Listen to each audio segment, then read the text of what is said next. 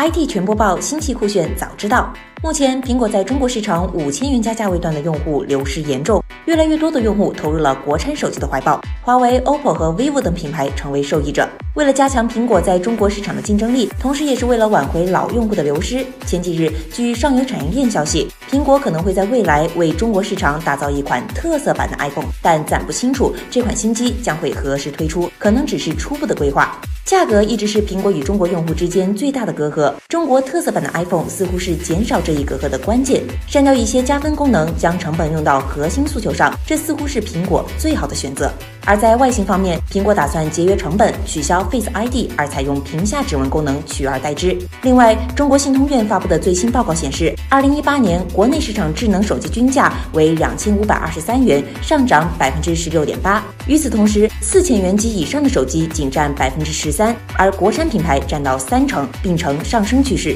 看来，留给中国特色版 iPhone 还有很大市场，让我们一起期待一下吧。